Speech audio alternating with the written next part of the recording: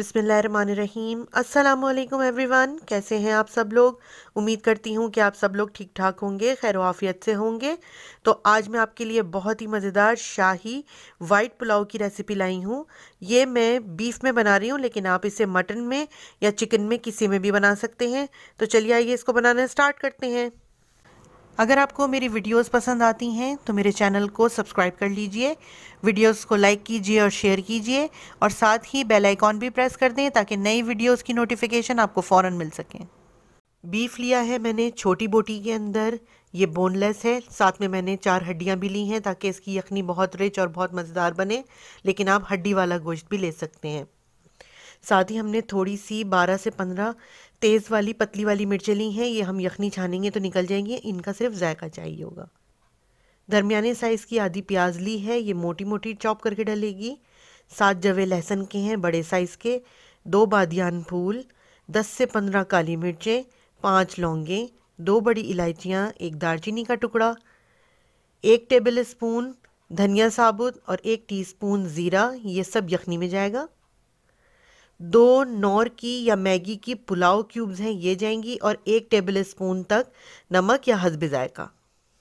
अब हमने पॉट के अंदर गोश्त डाल लिया है हड्डियों के साथ और हरी मिर्चों के साथ। इसके अंदर हम छः गिलास पानी डालेंगे। अगर आप कुकर में पका रहे हैं तो तीन गिलास डालिएगा। साथ ही इसके अंदर धनिया और ज़ीरा चला जाएगा। साथ ही तमाम खड़ा गरम मसाला, प्याज और लहसुन भी डाल देंगे। साथ ही इसके अंदर हम नमक डालेंगे और नौर की क्यूब्स। इसे अच्छे से मिक्स करेंगे और कवर लगा के एक घंटा हम इसे मीडियम लो फ्लेम के ऊपर पका लेंगे।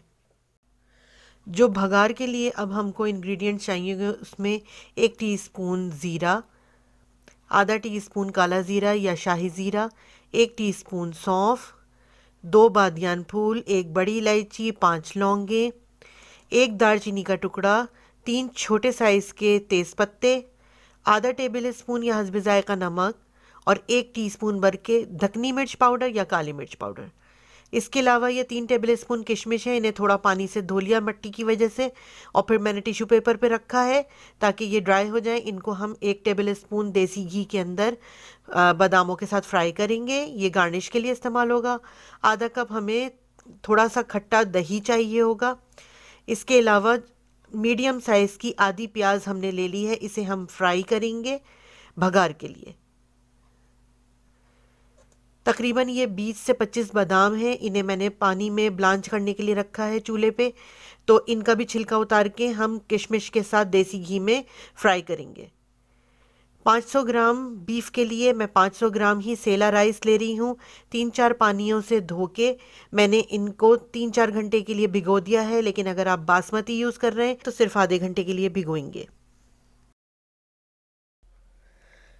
तो अब देखिए, इसको गोश्त को पकते हुए एक घंटे से ऊपर हो गया है और गोश्त हमारा बिल्कुल गला हुआ हो गया है। आप कुकर लगा के पकाएँगे तो आपको सिर्फ़ 12-13 मिनट लगेंगे इस गोश्त को अच्छे से गलाने में। अब हम क्या करेंगे? इस सारी यखनी को छान लेंगे और बोटियों को एक तरफ़ कर देंगे और बाकी तमाम चीज़ें डिस्कार्ड कर देंगे। इसके बाद एक बड़ी पतीली ले ली है मैंने। उसके अंदर मैं चार पाँच टेबल स्पून ऑयल डाल रही हूँ। साथ ही इसके अंदर मैं दो टेबल स्पून देसी घी के डाल रही हूँ। आप चाहें तो सिर्फ़ देसी घी में बना सकते हैं। चाहे तो सिर्फ़ ऑयल में। इसे हल्का सा हम गरम कर रहे हैं और घी को पिघला रहे हैं। अब हम इसके अंदर सबसे पहले बादाम और किशमिश को फ्राई करेंगे। मेरे से गलती हुई। मैंने किशमिश और बादाम साथ डाल दिए। आप पहले बादाम थोड़े से फ्राई कीजिएगा, फिर किशमिश डालिएगा, क्योंकि किशमिश जल्दी हो जाएँगे और बादाम थोड़ा सा टाइम लेंगे। तो देखिए, किशमिश हो गए, लेकिन बादाम नहीं हुए। तो मैंने क्या किया था कि एक चम्मच से सारे किशमिश निकाल लिए थे और बादामों को थोड़ा सा और टाइम फ्राई किया था। तो अब ये बादाम भी फ्राई हो गए। अब मैं इन्हें भी निकाल के किशमिश के साथ एक प्लेट पे रख लेती हूँ। अब इस बाकी बचे हुए तेल के अंदर हम प्याज को लाइट सा फ्राई करेंगे। बिल्कुल इसकी एजेस हल्की हल्की सी ब्राउन होनी स्टार्ट होंगी। बस उसी वक्त हम इसके अंदर बाकी मसाले डाल देंगे। इसे हमने बिल्कुल ब्राउन नहीं करना। देखिए जैसे ही प्याज का कलर हल्का सा चेंज हुआ है, इसमें मैंने हाफ़ टेबल स्पून लहसुन का, अदरक का पेस्ट डाल दिया है। साथ ही तमाम खड़ा गरम मसाला शामिल किया जाएगा। तेज़पत्ता और दालचीनी भी। इसे एक मिनट हम अच्छे तरीके से भूनेंगे।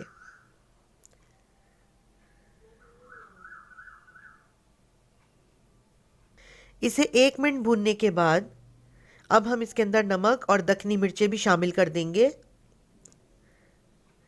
इन्हें भी मिक्स कर लेंगे। और साथ ही अब इसके अंदर हम फेटा हुआ दही भी शामिल कर देंगे। दही को भी हमने बहुत ज़्यादा नहीं भूनना है, सिर्फ़ गोश्त डाल के हमने एक से डेढ़ मिनट ही भूनना है। तो पहले हमने दही अच्छे से मिक्स कर लिया है। अब इसके अंदर जो हमने बोटियाँ अलग की थी बीफ की, वो हम इसमें शामिल कर देंगे और तकरीबन एक से डेढ़ मिनट इसे भूनेंगे और फिर उसके बाद इसके अंदर यखनी शामिल करेंगे। तो अब देखिए, जैसे ही मैंने दही को भून लिया है, बहुत ज़्यादा नहीं भुना है हल्का सा है अभी, क्योंकि इससे दही का फ्लेवर बड़ा मज़ेदार सा रहेगा। अब हम इसमें यखनी शामिल कर रहे हैं, मैंने सेला राइस यूज़ किए हैं, उसमें दुगना पानी जाता है। तो मैंने आधा किलो चावलों के लिए एक लीटर यखनी यूज़ की है। लेकिन अगर आप बासमती चावल यूज़ कर रहे हैं तो आप आधा किलो चावलों के लिए 750 ml यखनी यूज़ करेंगे। इसे हमने कवर लगा के एक जोश देने के लिए रखा था। इसमें जोश आ गया है। अब इसके अंदर हम चावल शामिल करेंगे तो चावलों को हमेशा पुलाव में छन्नी से छान के शामिल करें, ताकि एक्स्ट्रा पानी ना जाए और आपके चावल बैठे नहीं। इन्हें मिक्स कर लेते हैं और अब इसी यखनी के पानी में मीडियम फ्लेम के ऊपर हम इन चावलों को कवर लगा के पकाएँगे, जब तक कि इनका तमाम पानी खुश्क नहीं हो जाता और ये पक नहीं जाते। लेकिन इससे पहले आप इसको चख लें और नमक एडजस्ट कर लें, मेरा बिल्कुल परफेक्ट था। थोड़े से मैं इसमें ड्राई फ्रूट्स भी फ्राई किए हुए डाल रही हूँ, ताकि बहुत मज़ेदार सा, मीठा सा फ्लेवर इसके अंदर आ जाए। और इसके बाद इसे मिक्स करके मैं इसे पकने के लिए कवर करके छोड़ रही हूँ। राइस हमारे बिल्कुल अच्छे तरीके से पक गए हैं और इनका पानी खुश्क हो गया नीचे तक से आप चम्मच चला के देखें। और फिर उसके बाद इन्हें दम पे रखें। तो कपड़े का दम लगा रही हूँ, आपको पता है, मैं बता चुकी हूँ। पहले पाँच मिनट मीडियम फ्लेम और उसके बाद अगले दस मिनट हमने तवे के साथ इनको रखना है लो फ्लेम के ऊपर।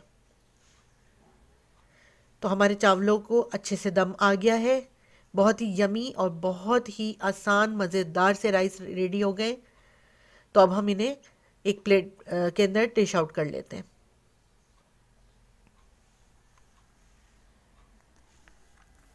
तो बस अब इसे डिश में निकालने के बाद मैं इसके अंदर बाकी बचे हुए बादाम और किशमिश से गार्निश कर रही हूँ। थोड़ी सी मेरे पास तली हुई प्याज रखी थी तो वो भी बहुत मज़े की लगती है इसके अंदर, मुझे तो ख़ास तौर पे बहुत पसंद है। तो वो भी मैंने गार्निश की है ऊपर से, ये ऑप्शनल है, आप चाहें तो करें, चाहें तो नहीं। और बहुत ही यमी, बहुत ही मज़ेदार हमारा शाही वाइट पुलाव जो है, वो बिल्कुल रेडी है। तो इसे ट्राई कीजिएगा और अपने फीडबैक्स दीजिएगा। अगर आपको ये रेसिपी पसंद आई है तो इसे लाइक कीजिए शेयर कीजिए और मेरे चैनल को सब्सक्राइब कर लीजिए। इसके अलावा मेरा एक ब्लॉगिंग चैनल भी है, उसे भी देख लीजिए और सब्सक्राइब कर लीजिए। मुझे फेसबुक और इंस्टाग्राम के ऊपर भी फॉलो कर सकते हैं आप। मुझे अपनी दुआओं में याद रखा कीजिए। अल्लाह हाफिज़।